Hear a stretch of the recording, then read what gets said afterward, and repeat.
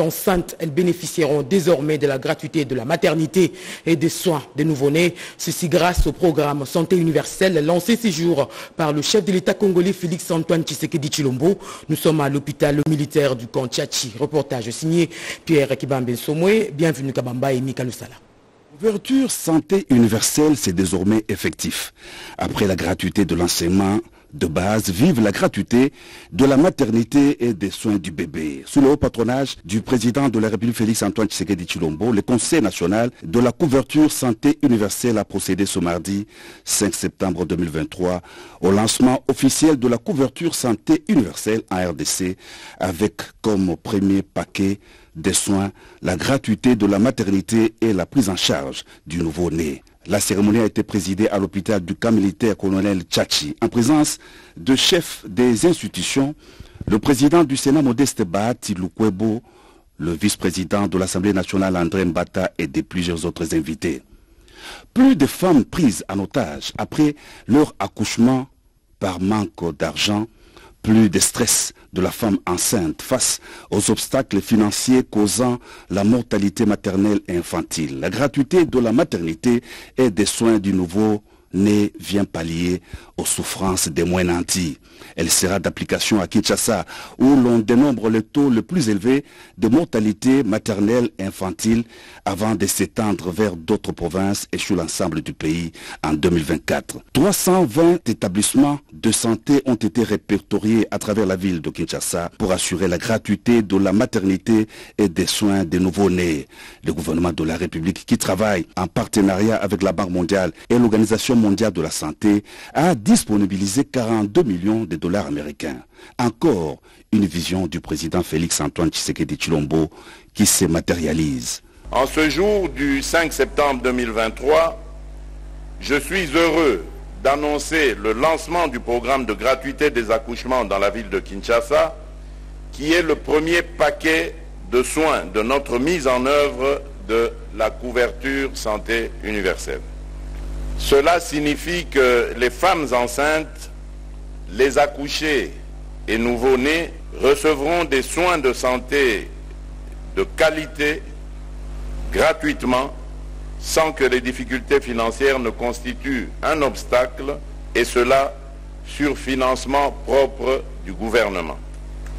Le choix de Kinshasa a été fait du fait que nous avons conscience que Kinshasa est une ville densément peuplée dont le taux de mortalité maternelle et infantile particulièrement élevé tire le pays vers le bas. Nous nous engageons à éviter la surcharge des établissements de soins et de santé de la ville-province de Kinshasa en étendant progressivement ce programme aux provinces voisines, notamment le Grand Bandundu et le Congo central dans les prochains deux mois. Grâce au financement de la Banque mondiale, nous prévoyons aussi d'élargir cette couverture de soins de qualité aux provinces du Kwilu, du Kasaï, du Kasaï central et du Sud Kivu, ainsi qu'à huit autres provinces du pays d'ici la fin de cette année.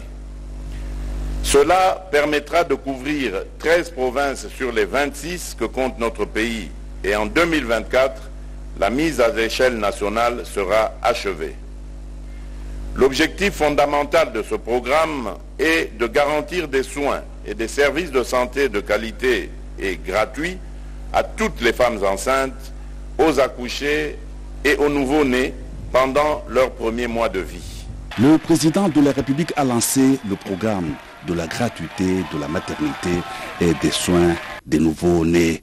Il a ensuite procédé à la remise symbolique des kits médicaux au personnel de la santé avant d'être convié à visiter l'hôpital moderne du camp colonel Tchachi.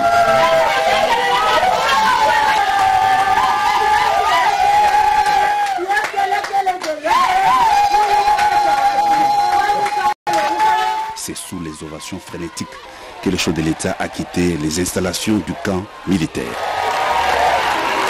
Les élections et la situation sécuritaire de l'Est de la République démocratique du Congo, ces deux points étaient au centre de l'entretien entre le président de la République démocratique du Congo et Didier Reinders, commissaire européen à la justice, Guylain Kaba-Lundi et Kazo Kazadi pour le reportage devra accueillir au premier semestre 2024 une conférence internationale sur la justice internationale.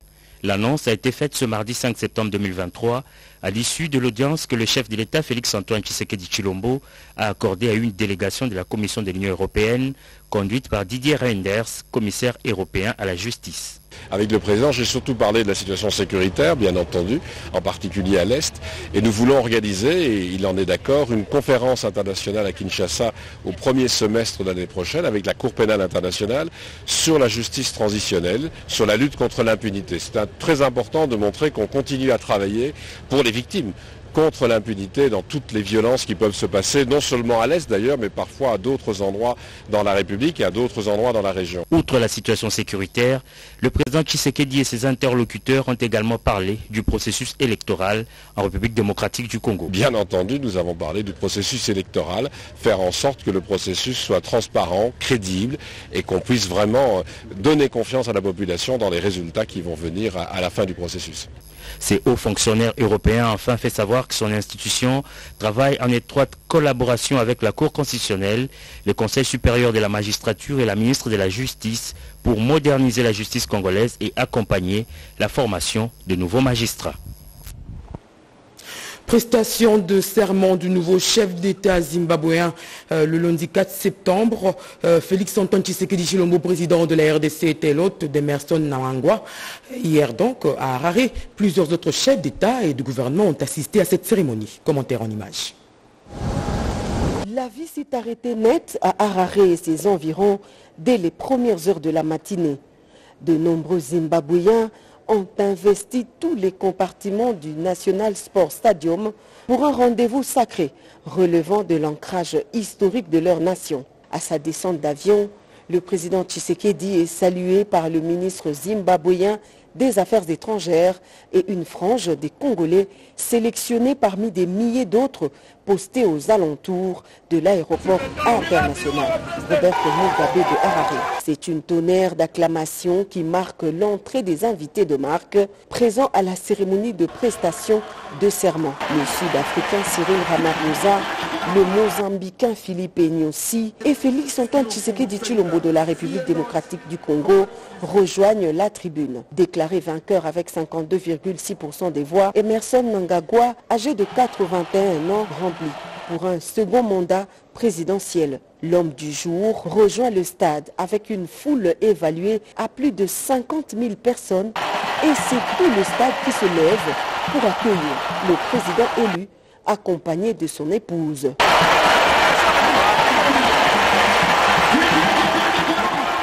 Au pouvoir depuis 2018, le président Nangagwa, successeur de Robert Mugabe, qui avait dirigé le pays depuis son indépendance en 1980, a prêté serment devant la Cour constitutionnelle de son pays avant de prononcer son discours d'investiture pour un second mandat à la tête de l'ex-Rhodésie du Sud.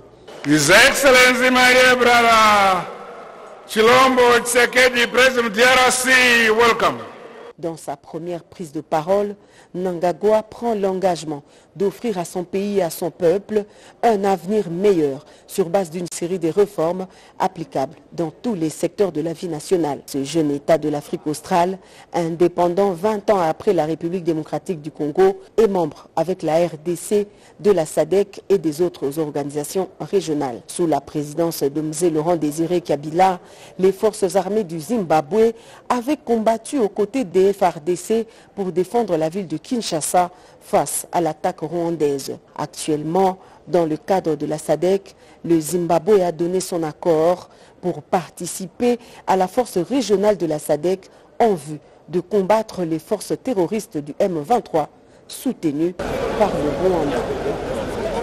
Sommet africain sur le climat, le Premier ministre congolais Samal Kondé plaide pour un accès équitable et juste financement pour la réduction de la dette économique de la République démocratique du Congo contractée pendant la période de la Covid-19. Petit. Ouvert le lundi 4 septembre 2023 au Kenya, le sommet sur le climat a pour objectif de faire de l'Afrique une puissance émergente en matière de croissance verte et de solliciter une aide financière internationale pour révéler les opportunités sans équivalent du continent. Le Premier ministre Jean-Michel Samuel Okonde Kienge, émissaire du chef de l'État Félix-Antoine Tshisekedi Chilombo, intervient au deuxième jour de ses assises pour une fois de plus présenter les potentialités qui regorgent la République démocratique du Congo en tant que pays solution au problème mondial des réchauffements climatiques et des transitions énergétiques de sa biodiversité et ses ressources naturelles. Les conclusions de ces sommets seront présentées à la COP28 prévue vers la fin de cette année à Dubaï, aux Émirats arabes unis. Ce sommet offre à mon pays l'opportunité de répondre aux attentes que le monde sur la problématique du climat. Comme on ne se soit jamais le dire, la République démocratique du Congo se présente dans ce contexte comme un pays. La République démocratique du Congo qualifie de produire à travers son système logique de 100 mégawatts pouvant augmenter l'activité partie de l'Europe, sans compter sur euh, sa jeunesse, euh, sa main-d'œuvre, est aussi un grand potentiel. Et comme le président Couture l'a dit ici euh, tout à l'heure, le potentiel applicable, il est. Ici, il est question de transformer ce potentiel pense à la République démocratique du Congo, trois ingrédients indispensables sont. La volonté, la solidarité et la détermination. La volonté, à savoir le respect des engagements particulièrement des pays pollueurs, ce qui concerne la taxe carbone, en convenu lors de la COP 15 sur euh, les financements innovants, les économies vertes, euh. C'est tard dans la nuit du 4 au 5 septembre 2023 que le chef du gouvernement a foulé le sol de Nairobi. À l'aéroport Jomo Kenyatta, John Nyakiro, ambassadeur de la République démocratique du Congo au Kenya, était présent pour un accueil aux représentants du chef de l'État Félix-Antoine Tshisekedi Chilombo. Tradition du pays haute respecté, Jean-Michel Samalukonde Kienge a apposé sa signature sur les livres d'or, une façon de marquer son passage au pays de William Ruto, instant suivi d'un entretien de quelques minutes avec les diplomates congolais. Le chef du gouvernement a dans sa délégation le vice-premier ministre, ministre des Affaires étrangères, Christophe Lutundula. Et au cours euh, du traditionnel briefing à l'attention de la presse, le ministre de la Communication et Médias, Patrick Mouyaya Katembwe, a dénoncé certaines manières de la presse internationale qui incriminent à tort les services de l'État dans l'assassinat de Chéribin Okende. Le ministre dénonce également le tribalisme utilisé par des personnes de mauvaise foi pour s'attaquer aux institutions. Extrait. C'est franchement dommage que des médias que nous connaissons crédibles comme RFI, comme Jeune Afrique, lorsque vous regardez ces fameux rapports, quand vous commencez simplement à en faire la lecture, regardez déjà dans l'entête sécurité intérieure, il n'y a même pas eux à la fin. Pour donner un exemple. Je pense que le ministère de l'Intérieur, mon collègue de l'Intérieur, qui a en charge la collaboration avec les services, va protester vigoureusement on aurait voulu que RFI ou Jeune Afrique nous appelle pour nous dire, Monsieur le ministre, vous pensez quoi de ces rapports? On aurait donné des réponses. À défaut de nous joindre, on aurait pu contacter l'ANR ou le ministère de l'Intérieur pour... C'est justement ça le travail que nous avons appris à l'IFACI, confronter les sources. Et aujourd'hui, je parle sans peur d'être contredit, les confrères ont été manipulés. Et c'est tellement euh, nauséabond, cette manipulation, qu'il y a une volonté délibérée de discréditer une enquête en cours. C'est quand même assez dangereux. Dans un pays qui se veut être une nation, on ne peut pas parler des nations lorsqu'on parle des tribus. Je crois que vous faites les relais des propos, même si vous ne voulez pas le citer, je l'ai suivi dès l'abbé Chollet. C'est extrêmement dangereux que ces propos viennent de lui. Parce que justement, je ne voudrais pas aller là où vous êtes, mais je peux vous donner des exemples. En 2011, qui était président de la CENI?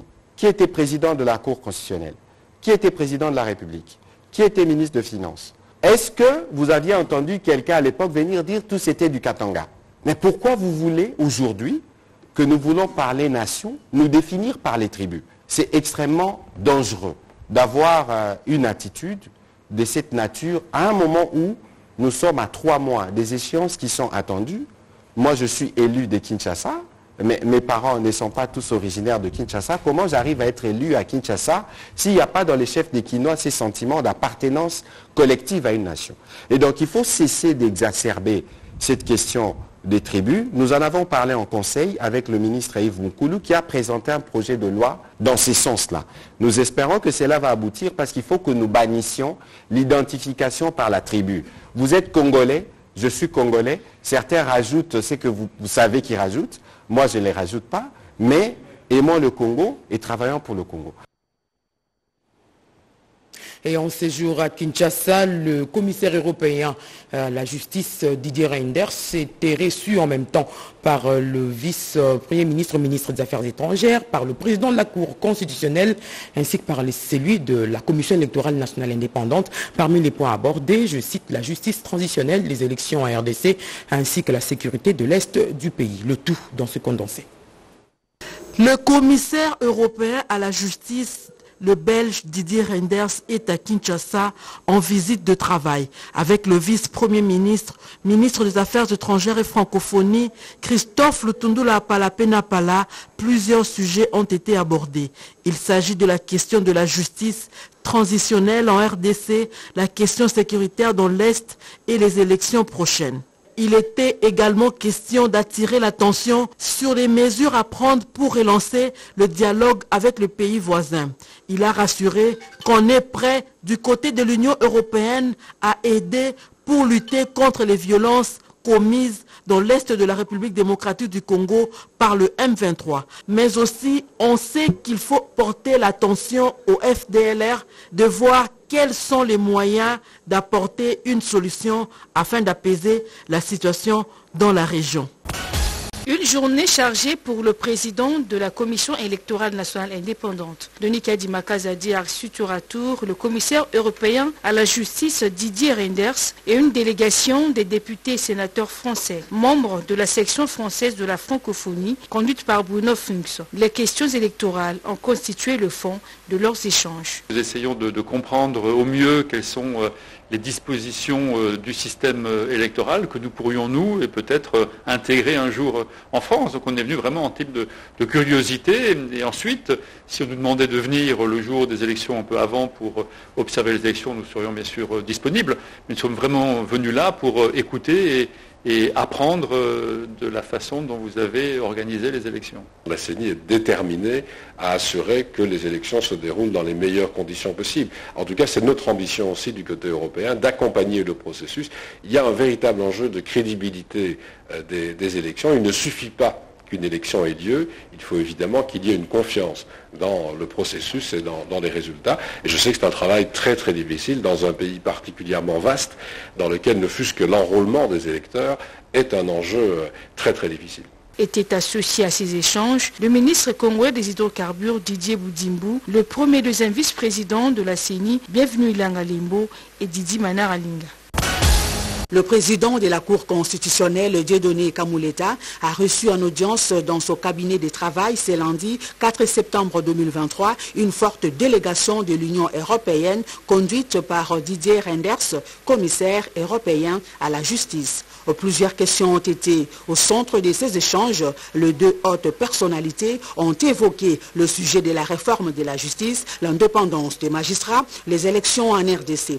Un entretien fructueux à la mesure des sujets abordés, la Cour constitutionnelle joue effectivement son rôle du garant de bon fonctionnement des institutions. La Cour constitutionnelle joue un rôle majeur à la tête du système judiciaire. Dans la préparation des élections, c'est aussi important qu'elle puisse être en, bout de course le garant de la transparence, de l'inclusivité, du bon déroulement du, processus électoral. Puis le président est aussi président du Conseil supérieur de la magistrature, donc les réformes de la justice. Et on a beaucoup mis l'accent dans la conversation avec le président sur la formation des magistrats, puisqu'en deux périodes, on recrute chaque fois 2500 magistrats au Congo. Il faut les former et il faut permettre qu'ils euh, développent leurs activités dans de bonnes conditions. Et puis il y a l'aspect euh, indépendance des magistrats, mais aussi euh, responsabilité. Donc comment gérer la, discipline, comment peut-être vérifier aussi l'intégrité? Sur le processus électoral, Didier Renders estime que l'Union européenne est très attentive à l'ensemble du processus. À quelques mois des élections, les problèmes de transparence se posent avec euh, insistance, d'où la sollicitation de l'Union européenne par Kinshasa qui étudie comment envoyer une mission d'observation. Il faut noter que cette visite vient tout simplement sceller les partenariats durables entre la RDC et l'Union européenne. Et ce communiqué de l'ONEM, avant de poursuivre, la Direction générale de l'Office national de l'emploi, ONEM, porte à la connaissance des employeurs en général et au public en particulier que le visa des contrats de travail des nationaux et des étrangers est une prérogative exclusive reconnue à l'ONEM. À cet effet, elle invite tous les employeurs au suivi régulier du traitement des dossiers en déant 30 jours ouvrables auprès des services visa des contrats de travail des nationaux et des étrangers de l'ONEM, signé Béangombe Fanon, directeur général. Les crimes internationaux, la poursuite et la répression de leurs auteurs, voilà une des matières du traité des crimes internationaux, ouvrage porté sur le fonds baptismaux par la présidente du Conseil d'État. Reportage Jacques Mégy, Olivier Maquissier. Et portant sur le fonds baptismaux, je te souhaite plein succès. La doctrine en droit congolais international vient de s'enrichir d'un nouvel ouvrage de 912 pages intitulé Traité de crimes internationaux. C'est la troisième édition, l'œuvre du général Laurent Moutataloaba, premier avocat général de forces armées près la haute cour militaire. Présenté par le professeur Wane Bameme dans sa forme et son fond, le traité de crimes internationaux contient cinq parties qui abordent différentes notions relatives aux crimes internationaux, notamment le principe régissant la répression de crimes contre la paix et la sécurité de l'humanité, l'action complémentaire de la CPI face aux poursuites, l'itinéraire judiciaire à risque pour les incriminés, les conflits armés par procuration en République démocratique du Congo, l'évier des violations massives des droits et libertés fondamentaux des humains et l'analyse détaillée de crimes prévus dans le statut de Rome et en droit congolais. C'est la première présidente du Conseil d'État, Marthe Audio Nondé, qui a porté sur les fonds baptismaux cet ouvrage juridique dont l'auteur, Laurent Moutatalwaba, premier avocat général de forces armées, dévoile l'utilité. Euh, il a pour vocation l'ouvrage de pouvoir euh, éclairer sur cette matière aussi bien émaillée de complexité que de finesse. Laurent Moutata premier avocat général des forces armées près la haute cour militaire, a à son actif plusieurs ouvrages juridiques, dont quatre volumes sur le droit pénal militaire congolais et le précis des procédures pénales congolaises. Industrialisation de la quinine, la Pharmakina plaide pour une production totalement congolaise. Une délégation de cette entreprise a communiqué au vice-premier ministre, ministre d'économie et économie, je voulais dire, des initiatives pour accroître la production du quinquennat à l'est du pays. Une façon, ma langue m'étrahit, une façon de mieux combattre la malaria en République démocratique du Congo. Animbalaka.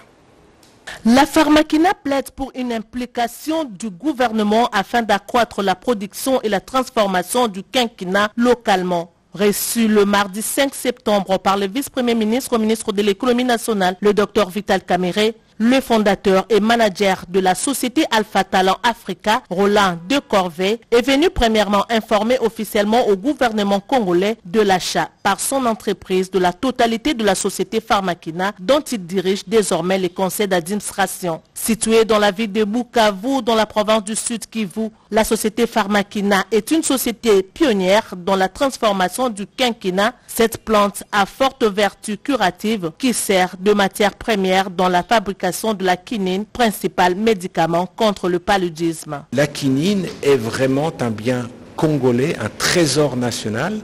Seulement notre société ne transforme que 20% de ce produit et 80% sont exportés à l'état brut en Inde c'est transformé en médicament et ça revient en Afrique. Accompagné par l'administrateur de la pharmacina Étienne Ernie et le directeur général Garpreet Kang, le nouveau propriétaire de cette société a été conduit auprès du vice-premier ministre au ministre de l'économie nationale par un grand notable du Sud Kivu, Norbert Bassengezi Kantitima, qui connaît à suffisance l'importance capitale qu'accorde Vital Caméré dans le développement de l'industrie pharmaceutique dans la province du Sud Kivu qu'ils ont en commun comme province d'origine.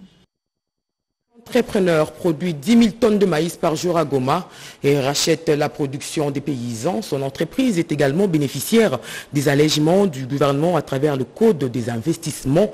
Le ministre du Plan a encouragé cette structure qui a visiblement créé des emplois. Françoise Bouelabouaki, Pompoumba.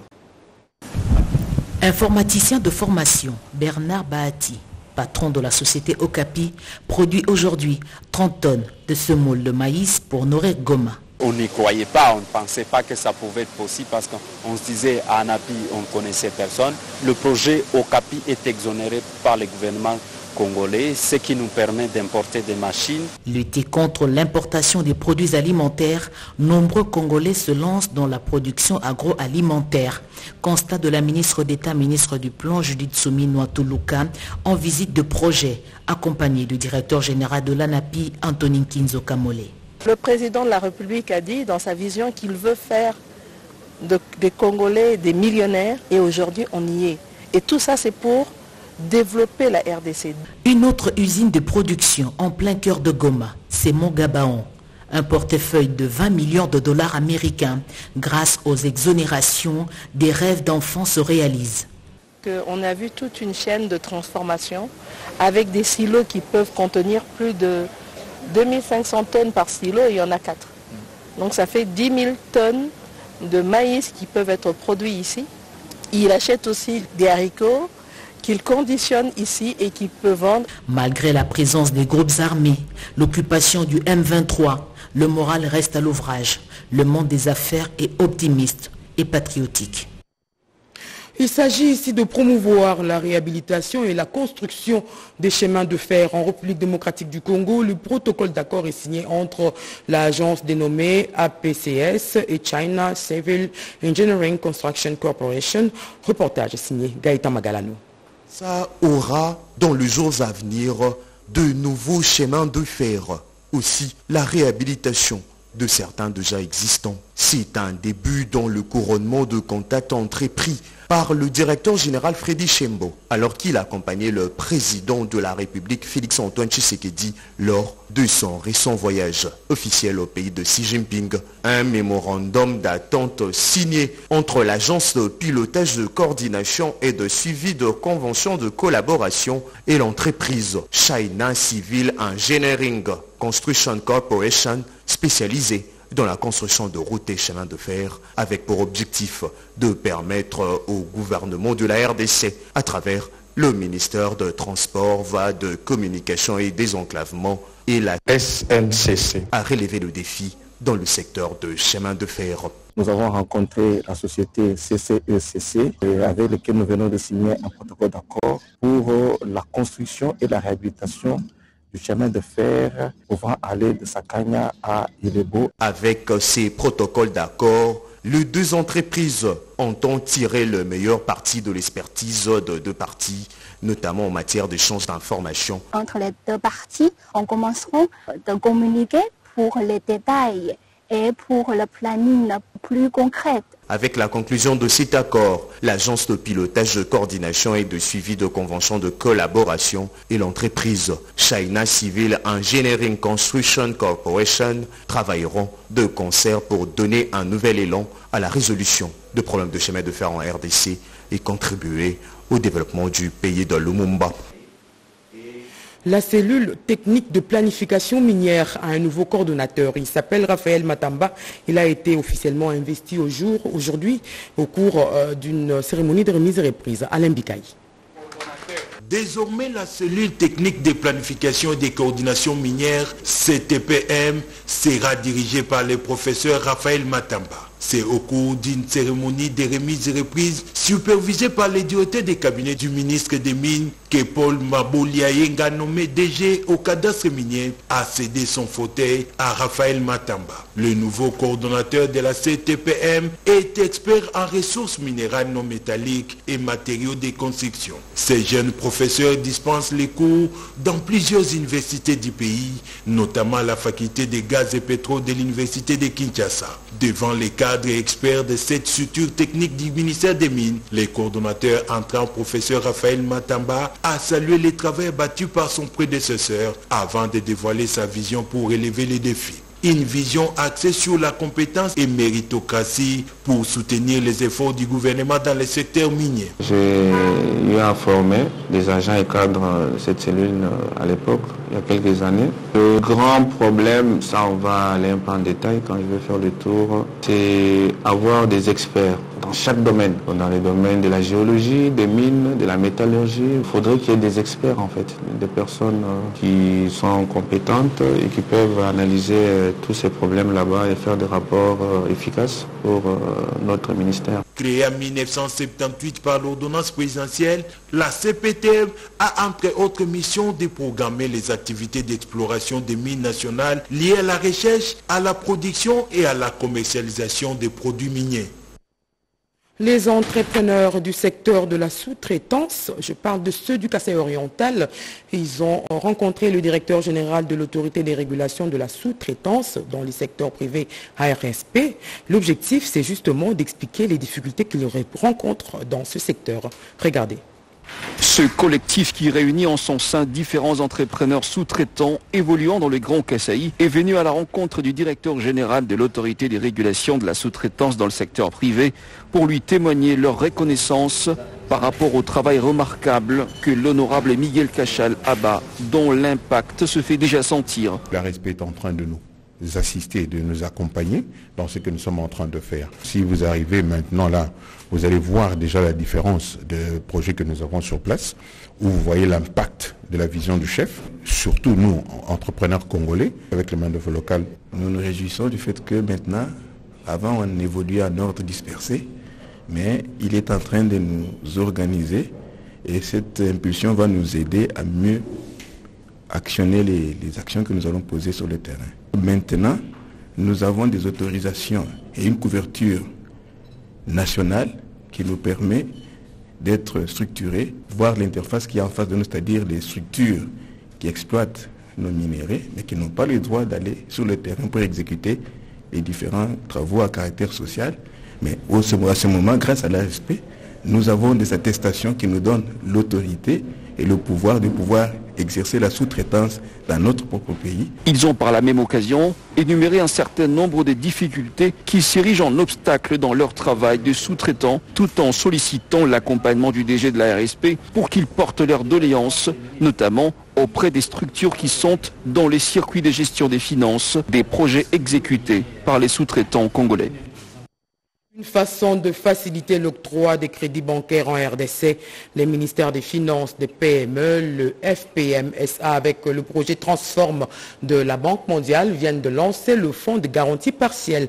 Plus d'explications dans ce reportage sur l'environnement financier en RDC, fonds des garanties partielles des portefeuilles de crédit. Obtenu de la Banque mondiale, cet appui financier qui s'élève à hauteur de 37 millions de dollars américains va permettre aux micro, petites et moyennes entreprises d'accéder au financement adapté aux besoins et d'accéder au crédit pour développer leurs activités et de surcroît diversifier l'économie. À l'octroi de cette garantie, nous signons un contrat de performance en termes d'indicateurs d'impact avec des institutions financières bénéficiaires. On va se mettre d'accord sur les cibles, sur le nombre de nouveaux crédits à créer. Et puis, il y a aussi des audits qui seront initiés pour s'assurer qu'il y a un élément additionnel avec cet instrument au niveau des institutions financières pour les MPM. Mais notre souhait, c'est effectivement les institutions financières de faire un geste pour réduire tant soit peu les taux d'intérêt. Pour l'opérationnalisation de ces fonds GPP, le gouvernement de la République a confié la gestion au FPMSA qui est résolument engagé pour l'inclusion financière de jeunes et des femmes entrepreneurs. À l'occasion de ces lancements, le DGE du Fonds pour l'inclusion financière, Patrick Kombo-Mambou, a invité les banques et coopératives à souscrire à ces nouveaux produits qui va à coup sûr améliorer les secteurs privés et impacter l'économie congolaise. Pour le coordonnateur national du projet Transforme de la Banque mondiale, Alexis Mangala, les fonds de garantie partielle du portefeuille est mis en œuvre pour une période de 5 ans et sera exécuté en trois poules. Les villes de Kinshasa et Matadi, les villes de Bounia, Bukavu et Goma, ainsi que les villes de Kananga et Mbujimai. Le lancement, c'est 5 septembre 2023 du fonds de garantie partielle du portefeuille traduit les soucis du gouvernement de la République de réduire les inégalités et la pauvreté.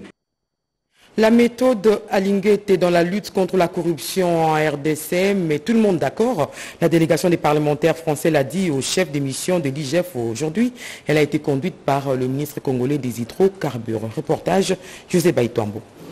Une délégation des sénateurs et députés de la République française a échangé ce mardi avec la direction de l'inspection générale de finances, conduite par la vice-présidente du Sénat français, qu'accompagnait le ministre des hydrocarbures en tant qu'interface du gouvernement congolais. Cette mission est venue s'enquérir de la réalité de la lutte contre le détournement des deniers publics et la corruption que mène l'IGF sous la houlette du président Félix Antoine Tshisekedi Chilombo depuis son avènement au pouvoir en 2019. Au cours de ces discussions, la direction de l'IGF RDC a présenté un tableau éloquent des réalisations de la RDC en matière de répression des antivaleurs dans la gestion publique. Nous, avions euh, présenté l'état des lieux de la corruption des détournements en 2020 quand ce travail a commencé, quand le chef de l'État a donné des instructions, les stratégies en place, it. Les missions accomplies et les résultats réalisés à ce jour.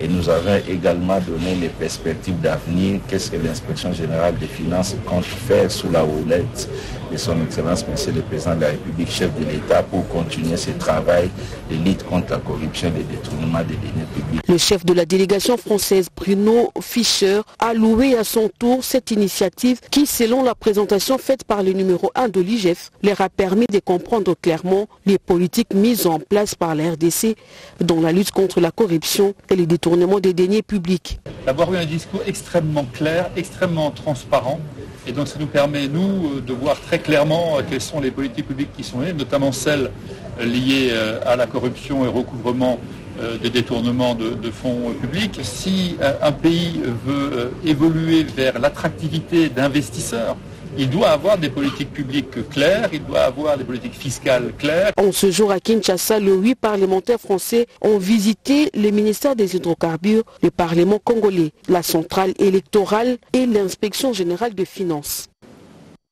De la main-d'œuvre qualifiée pour la province de l'Omami, le gouverneur s'y emploie et sollicite l'appui du ministère de la formation professionnelle pour la construction des centres d'apprentissage. C'est le contenu des échanges entre la ministre Antoinette Kipoulou et l'autorité provinciale de la Lomami. Reportage.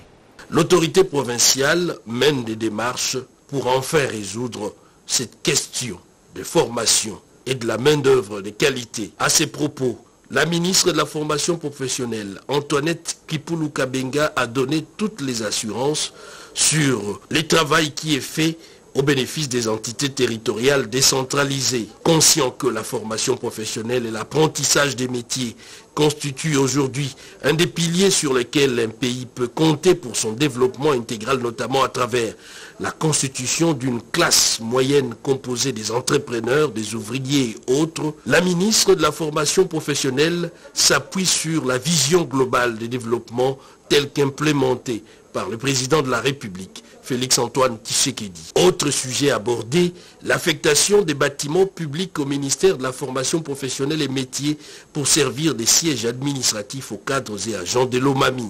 Au cours de la même journée, la patronne de la formation professionnelle a présidé également une séance de travail qui a mis autour d'une table la coordination du cabinet et les animateurs de l'administration centrale, en l'occurrence le secrétariat général et l'inspection générale. Au centre des discussions, la collaboration entre le cabinet et l'administration, l'évaluation des épreuves de l'examen national des fins d'études professionnelles qui, en sa troisième édition, dont la correction doit se poursuivre afin de livrer aux apprenants finalistes leurs résultats.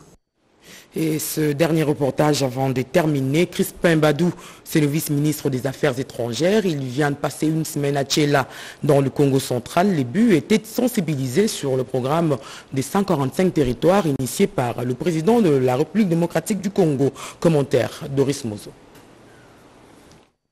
Il a installé son quartier général à Tchela Centre pendant une semaine. Crispin Badou, vice-ministre des Affaires étrangères et francophonie, a prêché le programme de développement local de 145 territoires et son initiateur, le président de la République, Félix Antoine Tshisekedi Tulombo. En six jours, tous les secteurs de Tchela ont été visités, une messe d'action de grâce pour commencer cette itinérance. Amadouda Centre, un meeting a été organisé par Crispin Badou en prévision des élections à venir. Cet élu de Tchela préconise un vote sérieux. Les terres congolaises sont sacrées et ne doivent pas être bradées, a indiqué le vice-ministre des Affaires étrangères et francophonie.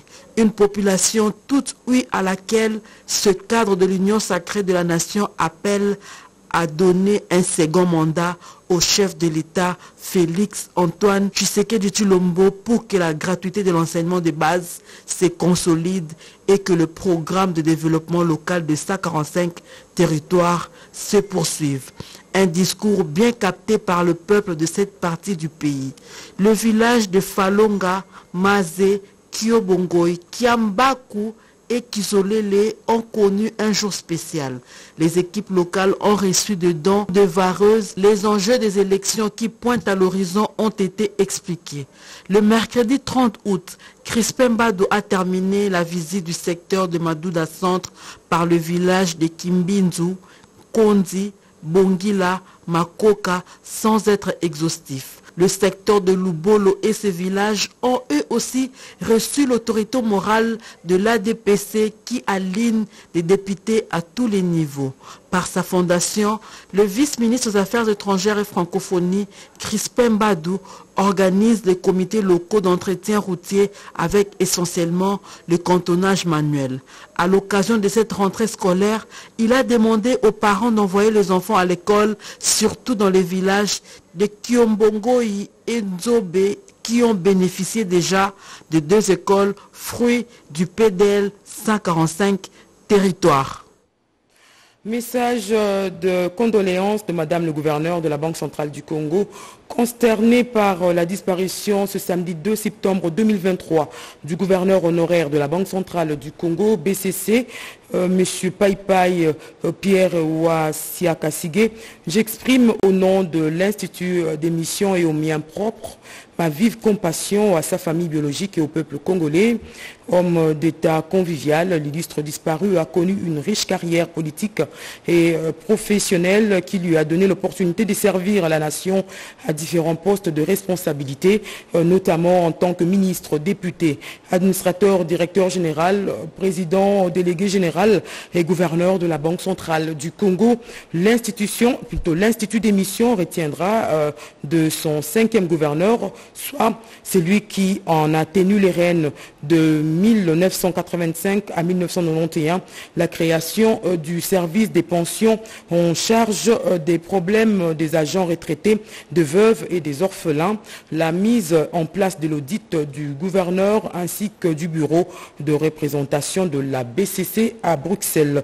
Toutes ces actions ont été d'un apport très important dans la conduite des activités et des opérations de la BCC qui, à cette occasion, lui exprime toute sa gratitude.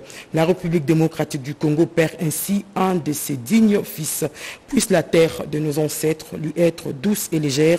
Fête à Kinshasa le 4 septembre 2023. Malangu Kabedi Mbouyi. Voilà. C'est la fin de ce journal et merci de votre particulière attention. Bonne suite de programme sur la radio-télévision nationale congolaise. Je vous retrouve demain. Bonsoir.